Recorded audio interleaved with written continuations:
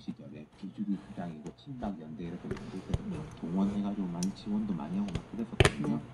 박근혜 대통령이 대통령이 딱 될- 되자마자 나의 공식 팬클럽은 이게 아니다 라고 어. 약간 꼬박 클럽이라고 돼 있었어요. 음. 뭐 12개가 통합해서 음. 약간 조금 뭐 어용이라고 그래야 되나? 관리가 되는 이라고 그래야 되나? 음.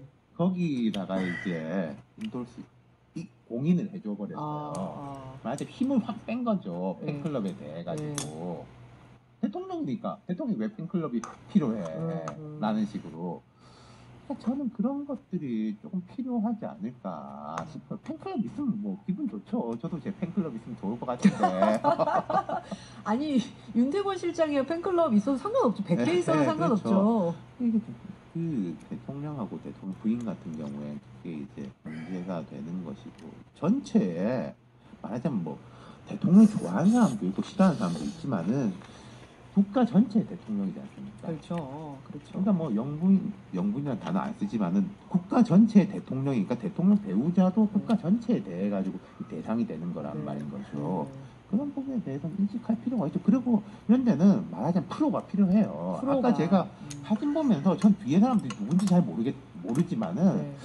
약간 답답했던 게 그 사진 좀 보여주세요, 네, 유 감독. 김건희 여사 오른쪽 네. 보면요 오른쪽에 네. 계신 이제 백회. 중년신사분이 아, 10년 신사. 차성수 전 시민사회 수석 참여정부 시민사회 수석 이거 봉화재단 이사장이에요 그렇죠. 지금 네. 그러니까 여기서 봉화마을의 대표에서 나오신 분인데 두 분만 있으면 돼요 음, 사진에 음. 그게 훨씬 더 주목도도 높고 깔끔하고 분위기도 좋을 거예요 그러니까 설사 지인들을 다 대동해서 갔더라도 그렇죠 굳이 참배를 같이 저렇게 한 사진을 할 필요가 그게 있느냐. 말하자면 이제 프로가 필요했다.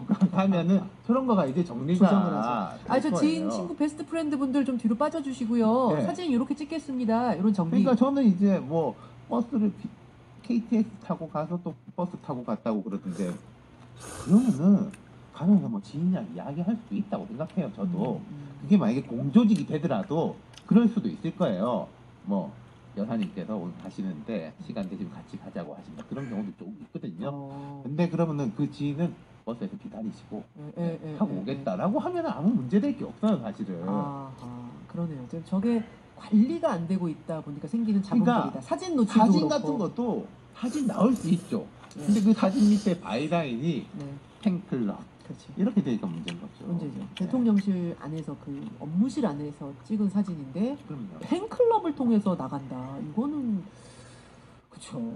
이런 자본을 굳이 왜 그러니까? 우리가 오바마 대통령 같은 경우에 사진 활용을 되게 잘했었고 노무현 대통령도 봉화마을 갔을 때 뒤에 자전거에 손녀 태우고 이렇게 가는 밀짚 모자 쓰고 네, 있는 모습 맞아요. 또 오- 오바마 대통령이 이제 그 백악관에서 청소하는 사람이랑 주먹인가 하는 예, 사람 예, 예.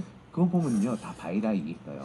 봉하마을은 장철영 사진 작가라고 음. 원래 청와대에서부터 이제 사진 작가가 있고 그 오바마 대통령 피터 수자라는 이제 전속 사진 작가가 있는데 네. 이게 다시 같이 이렇게 시너지 효과를 하면서 프로가 이렇게 했다 음, 음. 있는 사람이 했다라고 되면은 아무 문제가 없는 거고 왜냐면 대통령은 우리나라 대통령이고 네. 모든 국민의 대통령이지 팬클럽만의 대통령이 그러니까 아니거든요. 탁현민 비서관 같은 전 비서관 같은 예. 경우는 이제 논쟁적인 인물이죠. 논쟁적인 인물인데 의전 비서관이었지 않습니까? 네. 의전 비서관이 그 일을 하는 것 자체에 대해서는 문제가 없는 거예요. 음, 음.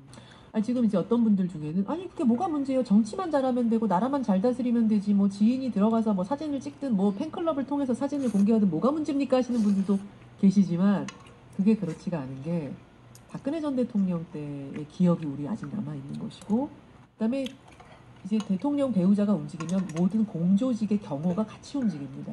그거를 사인들도 같이 다 받는 거거든요. 그러니까 먹을 때 예를 들어 뭐 먹는데 자 친구분들은 빠져주시고요. 저희 기사 식당 가서 따로 드시고 오세요. 이거 아니거든요. 이런 것은 어떻게 국민들께 설명이 될 것인가?